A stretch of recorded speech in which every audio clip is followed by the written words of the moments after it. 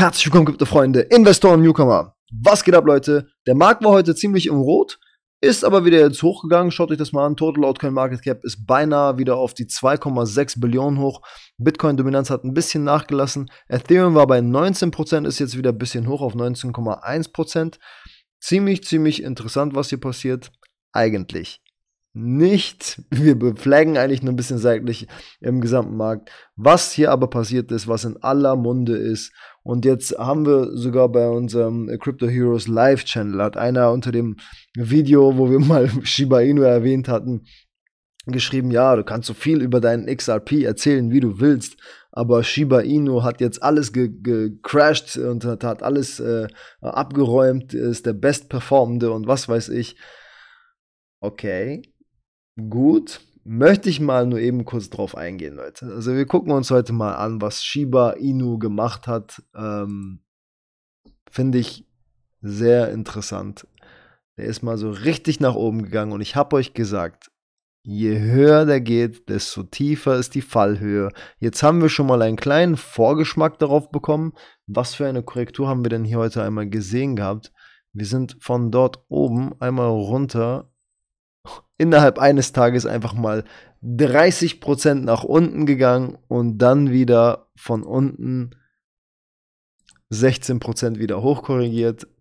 Das, äh, sowas sieht man einfach nur bei solchen Shit-Coins beziehungsweise Pupu-Coins. Wir wollen ja nicht äh, cursen hier. Aber was ist hier passiert, Leute? Wir ähm, haben eine sehr lange seitliche Flag-Phase gehabt mit einem starken Ausbruch. Ich habe euch das gestern im Livestream, beziehungsweise gestern, äh, nicht gestern, sondern ähm, Dienstag im Livestream haben wir darüber geredet gehabt, dass das typisch ist, dass wenn viele Projekte seitlich sehr, sehr lange flaggen, dass der Moment des Ausbruchs meistens dann ein massiver ist. Und was ist auch hier passiert? Schaut euch das mal an. Hier war einfach mal gar nichts los mit Shiba. Wie lange war hier gar nichts los? Warum wurde der überhaupt gelauncht? Wurde hier ungefähr so die Charts fangen, beziehungsweise fangen hier am 1. August an, letzten Jahres. Und dann ist da einfach mal nichts mit passiert. Nichts. Schaut euch das mal an. Ihr seht, dass ihr hier kaum was erkennen könnt. Seitlicher Fleck hier, eine kleine Explosion. Februar ähm, fing es an in aller Munde zu sein. Ein weiterer Flag. Und dann macht er auf einmal sowas. Und was ist das? Was genau ist das? Das ist ein Anstieg, meine Damen und Herren, von 78.432 Prozent. Und nachdem ein Coin 78.000 Prozent macht, waren einige der Meinung hier in den hohen Preisniveaus, dass es toll wäre, da rein zu investieren. Und was passiert, wenn so ein Coin mal so richtig steigt? Das passiert. Wir erleben eine Entwertung des Coins von bis zu 85 Prozent innerhalb kürzester Zeit. Was hat es dann gemacht? Lange Flag-Phase, so wie wir das auch in dieser Phase hier hatten. Und was macht es dann? Es explodiert einfach einmal nach oben. Und wenn wir uns das angucken, der hat sich hier eigentlich nur die ganze Zeit innerhalb einer Range aufgehalten. Schaut mal. Wie lange hat er sich innerhalb dieser Range aufgehalten?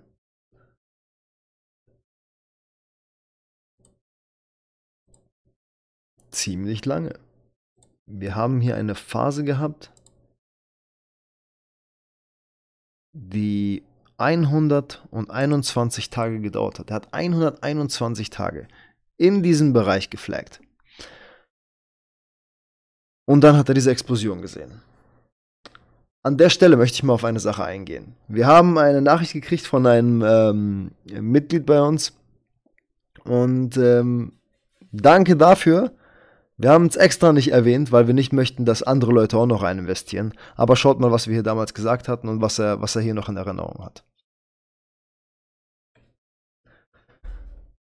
Hi Aslan, also er hat uns über Instagram angeschrieben. Hi Aslan, kannst du bitte Caro folgendes ausrichten wegen Shiba? Er hatte mal in einem Livestream die Fips gezogen und meinte, dass der Coin laut Fips noch 10x hinlegen könnte. Ich glaube, dass nun nach dem Stream der Coin sogar 11 oder 12x gemacht hat. Der Stream ist schon ein bisschen was her, aber ich hatte das äh, zum Anschluss, äh, zum Anschluss, äh, äh ich hatte das zum Anlass genommen, um 50 Euro von einem Freund in Shiba zu stecken. Ja, der hat nun 550 äh, draus gemacht. Klar sagt Caro damals auch, dass er in den Coin nicht investieren würde. Aber für alle Hater, die ihm immer wegen solchen Pupu-Coins äh, schreiben, könntet ihr doch mal ähm, sagen, dass ihr es vorausgesagt habt. Dass der Coin noch 10x machen kann. Und es nun sogar getan hat. Aber halt ohne Fundament, fundamentalem Sinn, sondern einfach nur aus dem Charts äh, erlesen und aus Pump-and-Dump-Sachen. Hoffentlich liest du, äh, hoffentlich äh, liest du das und äh, kannst das an Caro weiterleiten. Äh, lieben Gruß, äh, Halid. Halid, mein Lieber, Aslan hat's gelesen und Aslan hat's an mir weitergeleitet. Vielen, vielen Dank für den Post, weil wir das selber un ungern immer so jetzt erwähnen halt. Ne? Vor allem bei solchen Pupu-Coins können das einige zum Anlass nehmen und sagen, ähm, pass mal auf, vielleicht sollten wir auch da was rein investieren. Aber ja, wir haben es damals gesagt gehabt. Obwohl wir nichts von diesem Projekt halten, es hat keine richtige Anwendung. Das kleine bisschen, was die jetzt im Bereich NFTs machen wollen, sehe ich als nicht so dramatisch an. Es ist einfach Pump and Dump. Es ist Society driven. Die, die, die Leute wollen da rein investieren, die stecken ihr Geld da rein, das Ding pumpt durch die Decke und geht halt einfach nach oben. Die Frage ist jetzt, wann fällt das? Es gibt einige wenige, die eine riesen Anzahl von diesen Coins haben.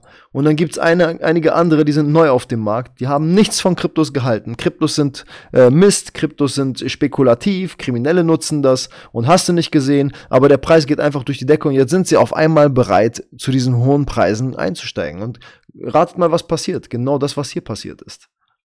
Wir werden so eine üble Korrektur sehen. Die steht uns bevor. Aber Leute, die jetzt neu auf dem Markt sind, die denken sich, ähm, das Ding geht auf ewig hoch. Der wird hier noch hochgehen und auf einen Dollar bald äh, sein. Ähm, und dann wird man Millionär sein über Nacht. Aber sowas passiert leider nicht. Die erwarten jetzt, dass es, dass es weitergeht. Und eine kleine Korrektur und weiter.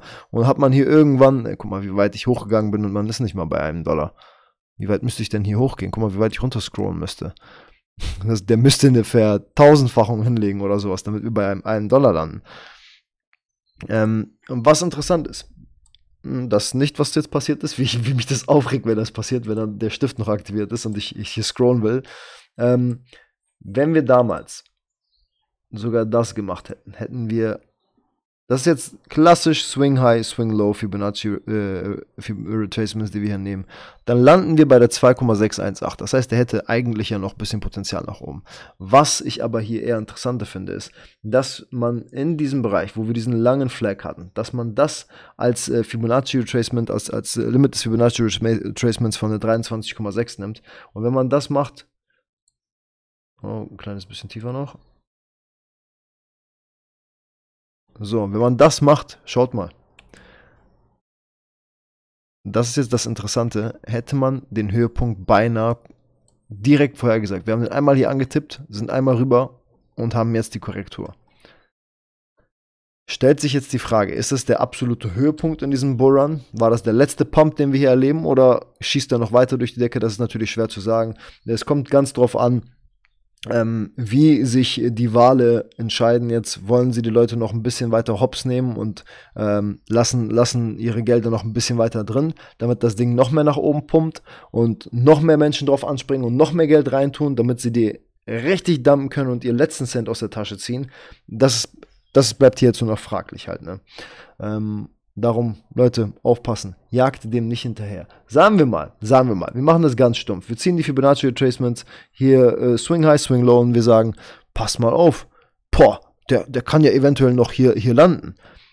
Muss es das heißen? Nein, muss es nicht, Leute. Das muss nicht heißen, dass er es erreicht. Aber gut, für die, die jetzt sagen noch, ich warte jetzt, bis der dahin geht, bis wir diese, diese 0,001 erreichen,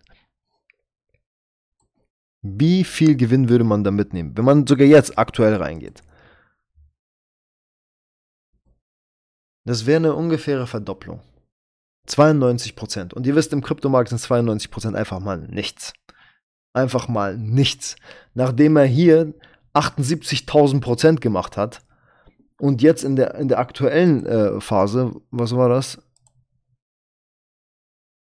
Hier nochmal eine Ver-11- oder Verzwölffachung hingelegt hat, das, was wir, wie, wie äh, Halid schon gesagt hat, vorher gesagt haben,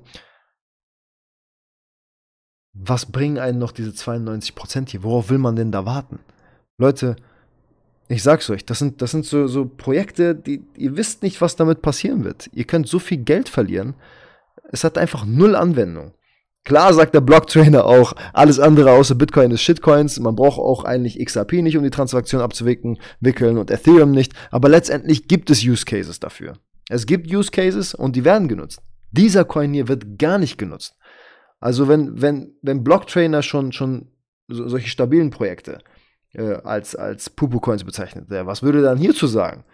Da, darum, Leute, und kein Hate gegen Blocktrainer, ne? Leute, ich mag den richtig gerne und für mich ist auch immer wichtig, dass man erklären kann, warum man, äh, warum man äh, ein Projekt als Shitcoin sieht oder nicht.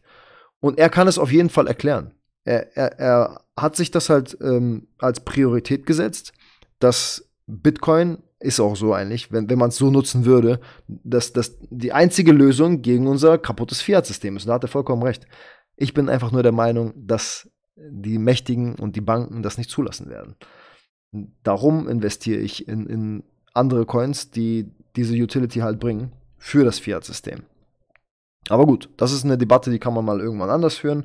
Auf jeden Fall nicht, dass hier irgendwie falsche Infos rüberkommen oder, oder dass ihr denkt, so, oh, es ging Blocktrainer ganz anders herum. Aslan hat das heute schon auch unter seinem Video geschrieben gehabt. Äh, was Bitcoin angeht und, und Blockchain habe ich auch und Aslan auch sehr, sehr viel von ihm gelernt.